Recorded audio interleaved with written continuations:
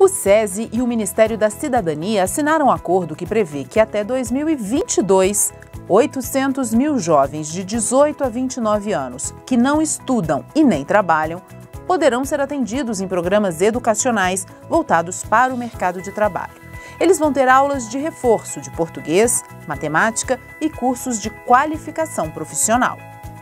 O que a CNI nos proporciona agora, com o seu know-how, com a sua estrutura, com o sistema do, do SESI, do SENAI, né, é poder capacitar esses jovens de acordo com a realidade da região que eles vivem, para eles terem emprego e renda. Os cursos serão oferecidos de acordo com as demandas de cada região do país, para atender às necessidades dos setores produtivos locais. Está dentro daquilo que nós sabemos fazer, que é trabalhar com educação, com formação, com qualificação e com desenvolvimento de pessoas para ter um emprego decente, para ter um emprego que proporcione uma qualidade de vida adequada para o cidadão brasileiro.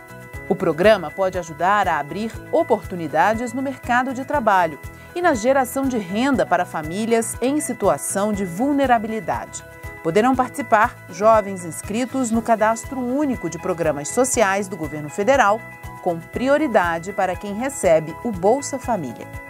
Um acordo que inicia um ciclo de um ciclo virtuoso de relações entre o, o, o governo e, e, o Sistema S, que passa por toda uma nova dimensão da economia né, que está se procurando dar ao país. E nessa parceria, certamente, nós vamos trabalhar com essas pessoas, com esses jovens, que no futuro vão poder almejar ter sim uma vida saudável, uma vida com qualidade, é, com emprego, uma vida decente, e é isso que nós vamos fazer juntos com o Ministério da, da Cidadania. Então a gente fica entusiasmado, é, porque na realidade é um trabalho no Brasil inteiro.